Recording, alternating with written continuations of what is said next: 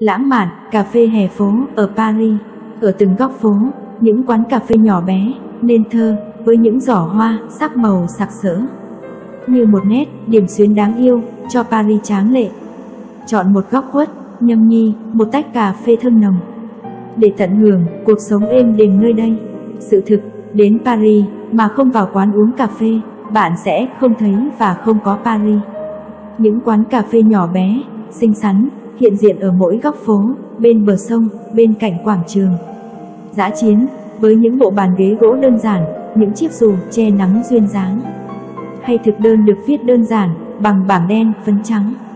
Suốt con đường dài, bên tà ngạn sông Sen, gọi là đường của các quán cà phê. Mỗi góc phố đều có một quán cà phê với lối trang trí đặc biệt Pháp, mở thông ra hè phố. Dưới mái hiên, che bằng nhựa trong, để lấy ánh sáng, là những chiếc ghế mây nhỏ. Những bàn tròn, hay vuông, gọn gàng cho hai, ba người ngồi. Hay những bộ bàn ghế sắt, sơn trắng, uốn lượn xinh xắn, được phủ lên một lớp khăn ren, hay kẻ sọc thanh nhã. Du khách không thể nào, không dừng bước, trước những mùi thơm dễ chịu, tỏa ra từ những quán ngoài trời, giản dị mà tinh tế. Với những giỏ hoa tươi, ngập tràn màu sắc trải dài khắp quán. Thú vị nhất là ngồi ở quán Prokop ở tà ngạn sông Sen. Một trong những quán cà phê cổ nhất Paris, nhấm nháp một ly cà phê thơm nồng, phóng tầm mắt và cảm nhận vẻ đẹp lãng mạn của xứ sở tình yêu này.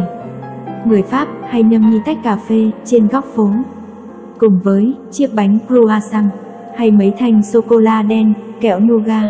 Cà phê cũng thường được chia ra làm hai loại, cà phê au lát và cà phê noa.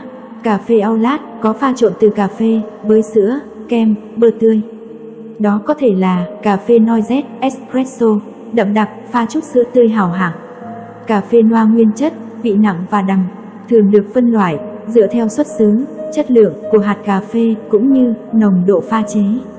Nếu một lần đến Paris, hãy chọn một góc khuất ở bất cứ ngã tư nào của thành phố. Gọi một cốc cà phê sữa, ngắm nụ cười mình đặc biệt của người Pháp, tận hưởng cuộc sống êm đềm trôi nơi đây.